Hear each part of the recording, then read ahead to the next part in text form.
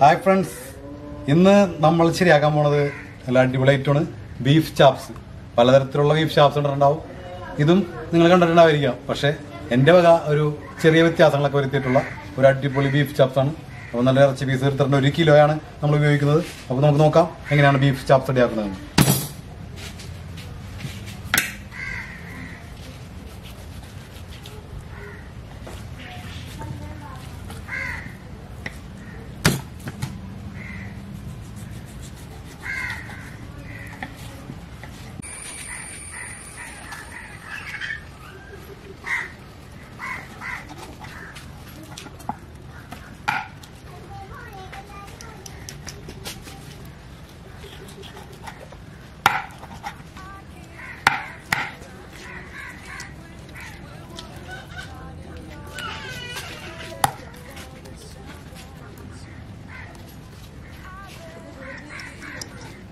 ഒരു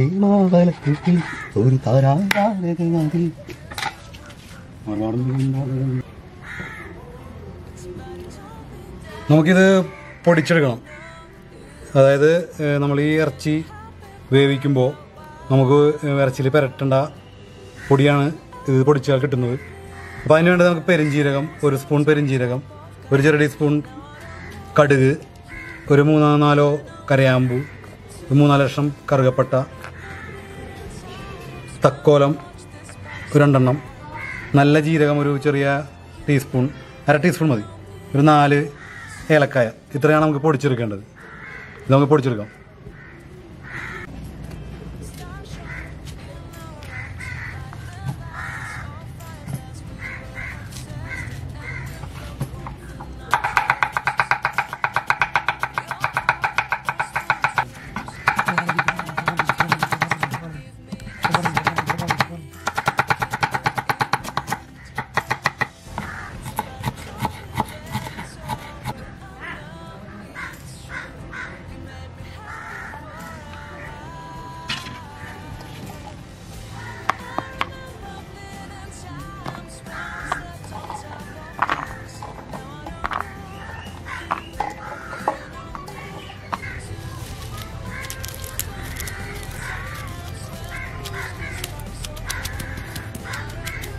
വെള്ളോളം തരിപ്പൊന്നില്ല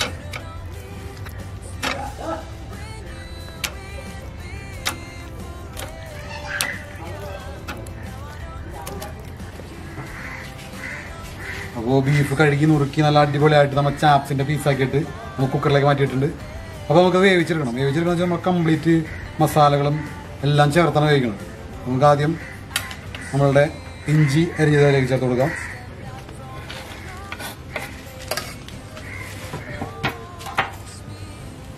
ഒരു രണ്ട് കഷ്ണം ഇഞ്ചി എടുത്തിരുന്നു.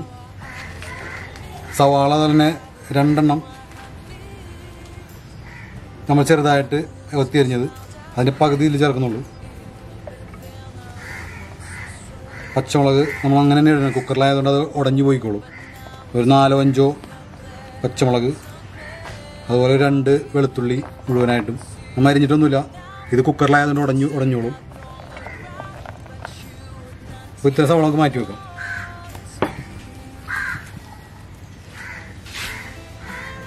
വേപ്പല ഒരു രണ്ട് രണ്ട് വേപ്പല കൂടി ചേർത്ത് കൊടുക്കാം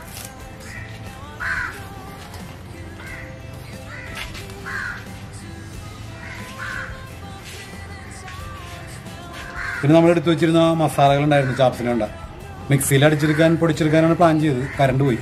അപ്പോൾ അതുകൊണ്ട് നമ്മൾ നമ്മളുടെ അരച്ച് ചത ചതക്കണ ചെറിയ കല്ലിലിട്ട് ഇടിച്ച് ചതച്ചെടുത്തു. ഈ ഒരു പരുവം മതി. നമുക്കിത് ചേർത്ത് കൊടുക്കാം. നേരത്തെ ഞാൻ പറഞ്ഞിരുന്നു എന്തൊക്കെയാണ് ഐറ്റംസ് എന്ന്. അതുകൂടി ചേർത്ത് നമുക്ക് നന്നായിട്ട് മിക്സ് ചെയ്ത് യോജിപ്പിക്കാം. ഇതിലും മെയിൻ ഒരു പ്രത്യേക ഇൻഗ്രീഡിയന്റ് കടുകാണ്. ബാക്കിയെല്ലാം പട്ട കറിയാമ്പ് ഏലക്കായൊക്കെ തന്നെ.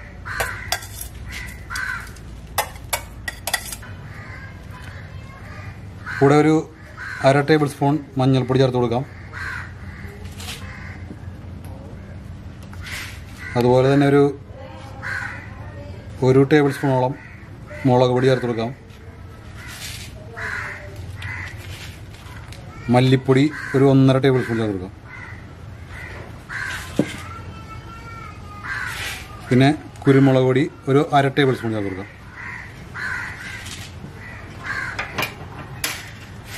ഇതിലേക്ക് അല്പം വെളിച്ചെണ്ണ ചേർക്കണം. വെളിച്ചെണ്ണ കൂടി ചേർത്ത് കൊടുക്കാം. ഒരു മൂന്നോ നാലോ ടേബിൾ സ്പൂൺ വെളിച്ചെണ്ണ ചേർത്ത് കൊടുക്കാം.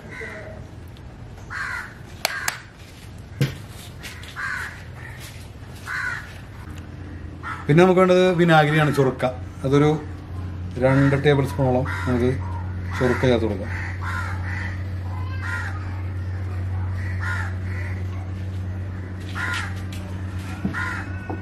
നമ്മൾ ചേർക്കാത്തത് എന്താണ്?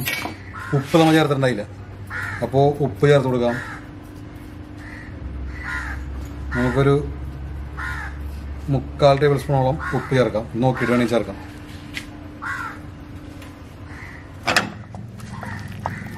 അപ്പോൾ ഇനി നന്നായിട്ട് നമുക്കിതൊന്ന് മിക്സ് ചെയ്ത് യോജിപ്പിക്കാം.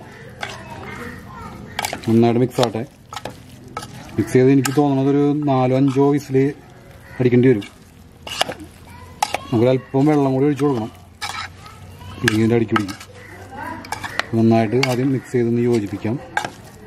പൊടികളും മസാലയൊക്കെ നന്നായിട്ട് പിടിച്ച് വിനാഗിരിയൊക്കെ അതിലേക്ക് ഇറങ്ങി നല്ല ഉഷാറായി കഴിയുമ്പോൾ നമുക്ക് അല്പം വെള്ളം ഒഴിച്ച് അടച്ചു വെച്ച് നമുക്ക് വേവിച്ചെടുക്കാം.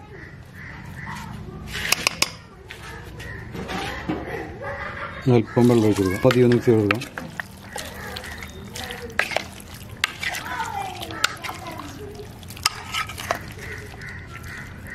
നമുക്ക് അടച്ചു വെച്ച് വേവിക്കാം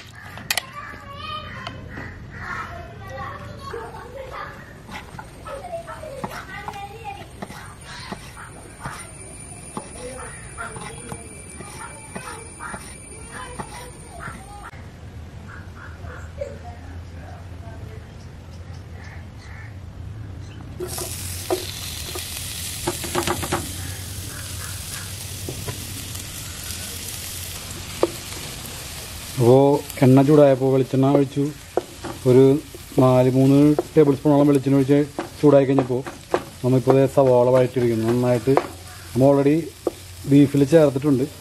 എന്നാലും ഈ നന്നായിട്ടൊരു ഗോൾഡൻ ബ്രൗൺ ആയിട്ട് കുറച്ച് സവാള കൂടി വേണം. അതിനാണ് നമ്മളിത് വഴറ്റിയെടുക്കുന്നത്. ഇതൊന്ന് നന്നായിട്ട് വഴണ്ടി വരട്ടെ. ഇനി ഇതിലേക്ക് നമ്മൾ തക്കാളി കൂടി ചേർക്കണം. വഴണ്ടിന് ചേർ ശേഷം നമുക്ക് ചേർക്കാം. നമ്മൾ സവാള നന്നായിട്ട് മുരിഞ്ഞ് ഇതായിട്ടുണ്ട് അപ്പോൾ നമുക്ക് അതിലേക്ക് തക്കാളി പിടി ചേർത്ത് കൊടുക്കാം. തക്കാളിയും നല്ല വെന്ത് നന്നായിട്ട് റോസ്റ്റ് ആയിക്കോട്ടെ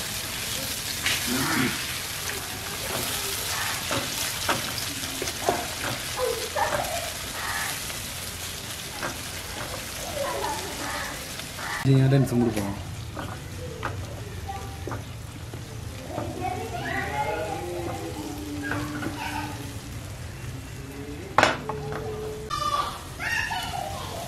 സവാളയും തക്കാളിയും നന്നായിട്ട് വാടി ഉടഞ്ഞിട്ടുണ്ട്. ഇനി നമുക്കതിലേക്ക് ഒരല്പം പൊടികൾ കൂടി ചേർക്കണം. നമ്മൾ ഓൾറെഡി ബീഫിൽ ചേർത്താണെങ്കിൽ പോലും ഇതിലേക്ക് നമുക്ക് കുറച്ച് പൊടി ചേർത്ത് കൊടുക്കാം. വീണ്ടും ഒരു അര ടീസ്പൂണോളം മുളക് പൊടി.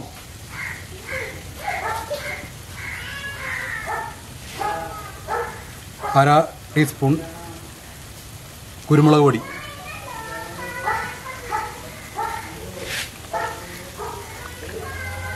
ഒരു ടേബിൾ സ്പൂൺ മല്ലിപ്പൊടി.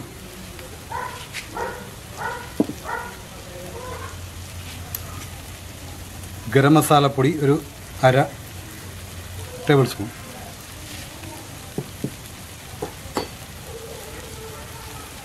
നമുക്കൊന്ന് മിക്സ് ചെയ്യാം. അപ്പോൾ അതിലേക്ക് നമുക്ക് അല്പം വേപ്പല കൂടി ചേർത്ത് കൊടുക്കാം. നേരത്തെ ബീഫിലമ്മ ചേർത്തിട്ടുണ്ട് എന്നാലും നല്ല സ്മെല്ലുണ്ട് കേട്ടോ കുറച്ചുകൂടി കിട്ടും വേപ്പലയും ചേർത്ത് നമുക്ക് നന്നായിട്ട് മിക്സ് ചെയ്തെടുക്കാം. പൊടിയുടെ പച്ചമണം മാറുന്നതുവരെ നന്നായിട്ട് മിക്സ് ചെയ്ത് യോജിപ്പിക്കാം.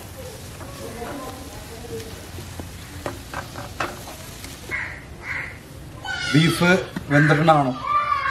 ആറ് വിസിലും ഏഴാമത്തെ വിസലടിക്കുന്നതിന് മുമ്പ് നമ്മൾ കുക്കർ സ്റ്റവ് ഓഫ് ചെയ്ത് കുക്കർ മാറ്റിയിട്ടുണ്ട്.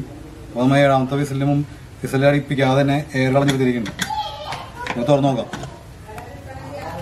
ഏകദേശം പന്ത്രണ്ടാണോ. നോക്കാം.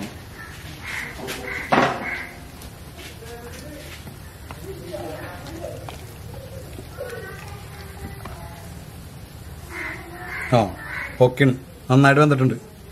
നമുക്കപ്പോൾ ഈ ഗ്രേവി ഒന്നും കളയാനല്ല. നമുക്ക് ഈ ഗ്രേവി കിടക്കുന്ന തന്നെ നമ്മളുടെ ഇപ്പോൾ മൂത്തുകൊണ്ടിരിക്കുന്ന ഈ മസാലയിലേക്ക് മാറ്റണം. നമുക്ക് ആദ്യം ഈ ഇതിന്റെ സ്റ്റോക്ക് അതിലേക്ക് ഒഴിച്ച് ഒന്ന് വറ്റിച്ചെടുക്കാം.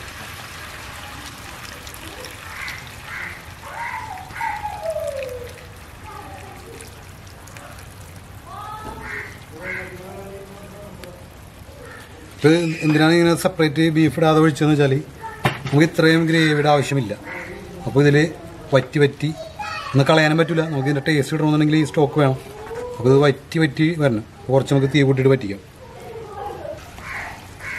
ഇപ്പോൾ കൂടുതലായിട്ടുണ്ടായിരുന്ന വെള്ളമൊക്കെ വറ്റിയിട്ടുണ്ട് ഇപ്പോൾ കണ്ടോ? നല്ല തിക്ക് ഗ്രേവിയായി കാരണം നമുക്ക് ഇതിൽ തേങ്ങാപ്പാൽ ലാസ്റ്റ് ചേർക്കാനുണ്ട്. കാരണം ഒരുപാട് വെള്ളത്തിന്റെ ഗ്രേവിയുടെ ആവശ്യമില്ലെന്ന് പറയാൻ കാരണം.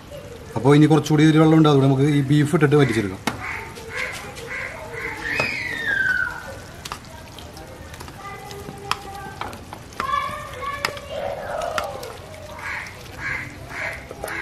അതിലുള്ള വെള്ളമൊക്കെ ഗ്രേവിയൊക്കെ ഒന്ന് വറ്റിച്ച് ചെറുതായിട്ട് ഡ്രൈ ആയിട്ട് വരുമ്പോൾ നമുക്ക് തേങ്ങാപ്പാൽ ചേർത്ത് ഓഫ് ചെയ്യാനുള്ളതാണ്. ഇതിന് ഇനി ഇതാകെ ചേർക്കാനുള്ളത് ഒത്തിരി വിനാഗിരി കൂടി ചേർക്കാനുണ്ട്. എന്നാലാണ് ഈ ചാപ്സിന്റെ ഒരു ഫ്ലേവറിലേക്ക് എത്തുള്ളൂ. പല ടൈപ്പിൽ ചാപ്സ് ഉണ്ടാക്കുന്ന ആളുകളുണ്ട്. തേങ്ങാപ്പാൽ ചേർക്കാതെ ഉണ്ടാക്കുന്നവരുണ്ട്. മസാലകളിൽ വ്യത്യാസം വരുത്തി ഉണ്ടാക്കുന്നവരുണ്ട്. കടുകരച്ചതും. അതുപോലെ തന്നെ എന്താണ്? കശുവണ്ടിയൊക്കെ അരച്ച് മുസ്താർഡ് സോസൊക്കെ ചേർത്ത് വിനാഗിരിയൊക്കെ ചേർത്ത് ഉണ്ടാക്കുന്ന അങ്ങനെ പല മെത്തേഡുകളിൽ നമുക്ക് ഇത് ഉണ്ടാക്കാം. ഇത് മറ്റൊരു മെത്തേഡ്. ഇതും ടേസ്റ്റിയാണ് പൊറോട്ടയുടെ കൂടെയും ചപ്പാത്തിയുടെ ചോറിന്റെ കൂടെയോ കഴിക്കാനായിട്ട് അടിപൊളിയാണ്.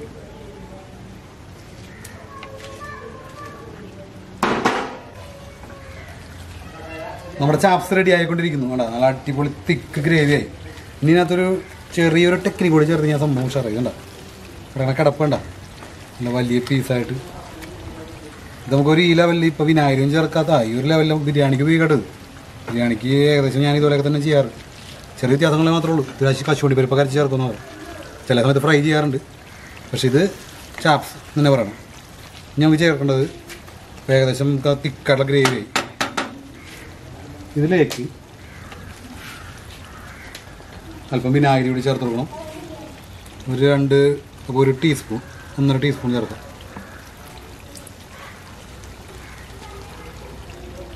ഒന്നര ടീസ്പൂൺ വിനാഗിരി ചേർത്തിട്ടുണ്ട്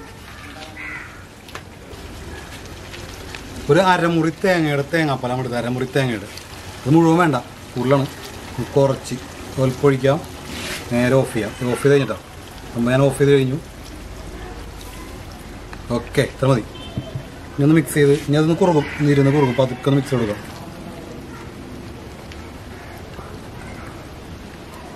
ഉണ്ടാ? കുറുകനുണ്ട തേങ്ങാപ്പാലും വിനാഗിരിയൊക്കെ അതിലേക്ക് ഇറങ്ങി. ഈ സാധനമാണ് നമ്മളെ സാൾട്ട് ആൻഡ് പെപ്പർ സിനിമയിൽ ബാബുരാജി ഉണ്ടാക്കണുണ്ടല്ലേ? ബാബുരാജിനോട് ലാലി ചോദിക്കും നമ്മളുടെ നീ വിനാഗിരി ചൊർക്ക തേങ്ങാപ്പാൽ ഒഴിച്ചതിന് ശേഷമാണ് ചേർത്ത് നോക്കൂലേ എന്ന പോലെ. പക്ഷെ ഞാൻ നേരെ ഓപ്പോസിറ്റാണ്ട വിനാഗിരി ഒഴിച്ച് സെറ്റായതിന് ശേഷമാണ് തേങ്ങാപ്പാൽ ഒഴിച്ച് ഓഫ് ചെയ്യണത്. അപ്പോൾ നമ്മുടെ അടിപൊളി ബീഫ് ചാപ്സ് റെഡിയായി കഴിഞ്ഞു.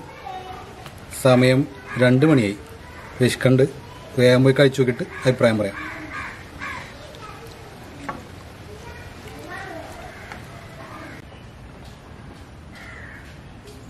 നമ്മളുടെ ബീഫ് ചാപ്സ് റെഡി ആയി കഴിഞ്ഞു. നിങ്ങളെല്ലാവരും കണ്ടു. എല്ലാവർക്കും ഭയങ്കര ഇഷ്ടപ്പെട്ടിട്ടുണ്ടാവും. പലതരത്തിലുള്ള ബീഫ് ചാപ്സുകൾ എല്ലാവരും ഉണ്ടാക്കാറുണ്ട്. എന്നാലും നല്ല വ്യത്യസ്തമായിട്ടുള്ളൊരു എന്റെ രീതിയിലുള്ളൊരു ബീഫ് ചാപ്സാണ് നിങ്ങളെ പരിചയപ്പെടുത്തിയത്. അപ്പോൾ ഇഷ്ടപ്പെട്ടെങ്കിൽ തീർച്ചയായിട്ടും നിങ്ങൾ ലൈക്ക് ചെയ്യണം. അടിപൊളി എന്ന് അടിപൊളിയാണ്. വേറെ കറികളൊന്നും വേണ്ട ഇതുണ്ടെങ്കിൽ. അപ്പോൾ നിങ്ങൾക്കറിയാവുന്ന രീതിയിൽ ചെയ്തു ചെയ്തു നോക്കിക്കോളൂ.